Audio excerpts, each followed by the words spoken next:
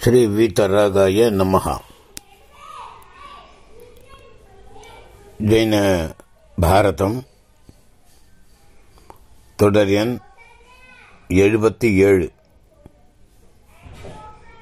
வணக்கம் பவ்யர்களே. நேற்றைய தொடரிலே சூலிகன் இந்த சூலிகை நகரத்து அரசனான சூலிகன் மற்றும்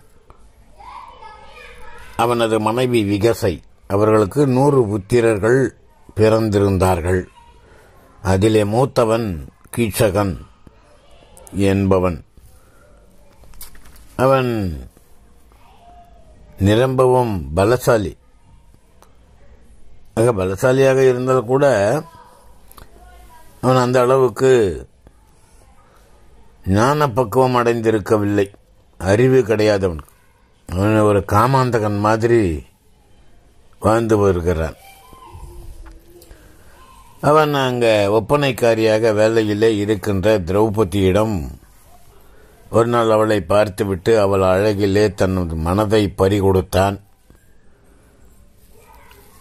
அவளிடத்திலே ஒரு நாள் சென்று அருகிலே நின்று அவளது கைகளை இறுகமாக பற்றினான். அப்போது திரௌபதியானவள் கைகளை விடுவிடு. உன் காமத்தை விடுவிடு. இந்த வையகம் தனில் என்னை வல்லவர் ஒருவர் புறந்திட வருவார். புன் செயல் வேண்டாம். புன் செயல்னா இந்த மாதிரி தேவையில்லாத செயல்களை செய்ய வேண்டாம் அப்படின்ற மாதிரி அவள் சொல்லுகிறாள். லகுவாக தனது கைகளை அவனுடைய பிடியிலே இருந்து விடுவித்துக் கொண்டாள். ஆனால் அந்த அறிவிலி கீசகனோ அவளது இச்செயலை வேறு விதத்திலே புரிந்து கொள்கிறான். இப்போது என்னுடைய கைகளை விட்டுவிடு. அப்பால் ஒரு முரடன் என்னை தொடர்கின்றான். அவன் இதை அறிந்தால் நம்ம ஆசையெல்லாம் பொய்த்துவிடும்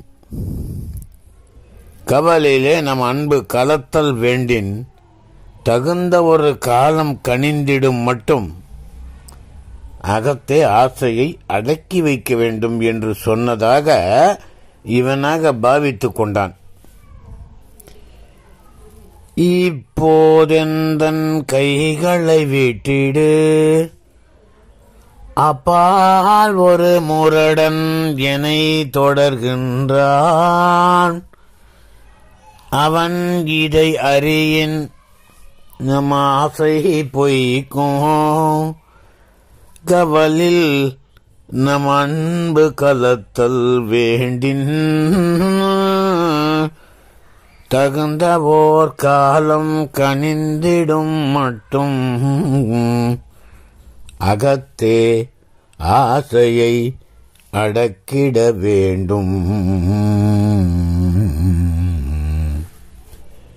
இப்படி அவள் சொல்வது போல இவன் தனது மனத்தினிலே எண்ணிக்கொண்டு தனது ஆசையை ஆசையை இன்னும் வளர்த்து கொண்டே இருக்கிறான்.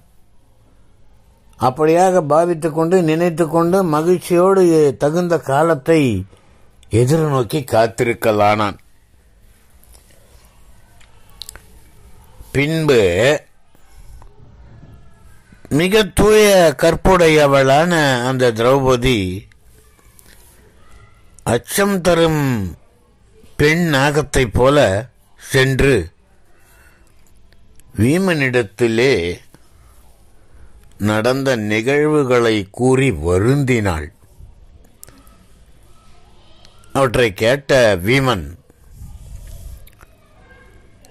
அடங்காத சினம் கொண்டு கீசகனை அப்பொழுதே கொல்லப் போகிறேன் என்று சூழ் உரைத்தார். பிறகு அவளை பார்த்து நல்ல ஒழுக்கமுடைய நங்கையே நீ சோகம் கொள்ளாதே. விலக்குவதற்கு அரிதான உன்னுடைய துன்பத்தை நான் போக்குவேன். நீ பயப்பட வேண்டாம். நான் இருக்கும் மட்டும் உனக்கு துன்பம் இல்லை. ஆனால் நீ நான் சொல்வதை மட்டும் செய்துவிட்டு வர வேண்டும். தகுந்த உபாயம் இன்றி நான் அவனை தனித்து வெல்வது அரிது. இந்த இடத்திலே நாம் ஆயுதம் எதுவும் இல்லாமல் ரகசியமாக மாறு வேடம் பூண்டு வசித்து வருகின்றோம். நீ இதையெல்லாம் நன்கு அறிந்திருக்கிறாய். நம்முடைய எதிரி சாமானியமானவன் அல்ல. அத்தகையோன்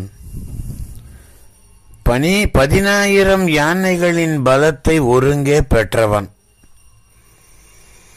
அப்படிப்பட்டவன் தன் சகோதரர்களை எல்லாம் விட்டுவிட்டு தனித்து வந்தால் அன்றி நாம் அவனை அவ்வளவு எளிதாக வெற்றி பெற முடியாது. நமது காரியமும் வெற்றி பெறாது. ஆதலாலே அரசனது நடன சாலை ஒன்று புறநகரிலே உள்ளது. வராட அரசனின் நடன சாலை புறநகரிலே அமைந்திருக்கிறது. அந்த இடத்திற்கு அவனை இரவு பொழுதிலே தனித்து வர வேண்டும் என்று நீ அவனிடம் சென்று கூறிவிடு. மற்றவற்றையெல்லாம் நான் பார்த்து கொள்கிறேன் என்று கூறி அனுப்பி வைத்தான். திரௌபதியும் வீமன் சொல்லியபடியே தகுந்த சமயம் பார்த்து அந்த கீச்சகன் அருகிலே சென்று அன்பரே நீர் யான் கூறும் இதனை கேட்பீராக? இந்த நகரத்தினுடைய புறப்பகுதியிலே வராட மன்னனுடைய நடன மண்டபம் ஒன்று உள்ளது அல்லவா? அந்த இடத்திற்கு இன்றைய இரவு பொழுதிலே நான் முன்னதாக சென்று அங்கே தனித்திருக்கிறேன். நீ கூட இருட்டிய இருட்டியவுடன் யாரும் அறியாதபடி தனியாக அங்கு வந்து காத்திருங்கள். உமது எண்ணம் நிறைவேறும். என்று ரகசியமாக கூறிவிட்டு தனது இருப்பிடம் வந்து சேர்ந்தாள். வீமன் என்ன சொல்லி தந்தாரோ அதை அப்படியே கீசகனிடத்திலே மொழிந்துவிட்டு திரௌபதை உடனே திரும்பி வந்துவிட்டாள். கீசகன் கூட திரௌபதியினுடைய வார்த்தைகளை எல்லாம் கேட்டு ஆஹா இவள் ஒரு வழியாக நம்மோடு ஐக்கியமாக போகிறாள். தனது சம்மதத்தை தெரிவித்து விட்டாள் என்றெல்லாம் மனதிற்குள்ளே உண்மை என்று நம்பி ஆனந்த பரவசமானான். ஓவியர்களே இந்த உலகிலே ஒருவன் தான் தொடங்கிய காரியம் எளிதிலே முடியுமையின் அது அவன் மகிழ்ச்சிக்கு காரணமாக அமைந்து விடுகிறது. பார்த்தீர்களா? ஒன்றை நாம் ஆலோசித்து பார்க்க வேண்டும். ஐம்புலன்களின் வயப்பட்டவர்கள் யார்தான் துன்பக்கடலிலே விழாமல் தப்பிக்க முடியும்? மூ உலகங்களுக்கு அதிபதியும் வித்யாதர சக்கரவர்த்தியும் செல்வங்களுக்கு அதிபதியுமான அந்த ராவணன் கூட சீதா பிராட்டியை விரும்பிய காரணத்தினாலே பல்வேறு நிலைகளிலே சூழ்நிலைகளிலே சந்தர்ப்பங்களிலே துன்புற்று அவமானம் அடைந்து மாண்டு போனான் என்றால் நல்ல ஒழுக்கத்திலே தவறி நடக்கின்ற மற்றவர்களது க- மற்றவர்களது கதியை பற்றி சொல்ல வேண்டுமா? இப்போது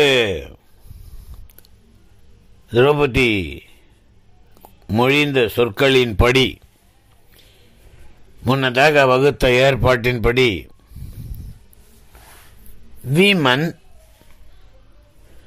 தன்னை அழகிய பெண் போல ஒப்பனை செய்து கொண்டான். பெண் வேடம் அணிந்து கொண்டான் பீமன் பாதங்களை அழகிய சிலம்புகள் அவன் அணிந்து கொண்ட காரணத்தினாலே அவன் பாதங்கள் சிலம்புகளாலே அணி செய்யப்பட்டது.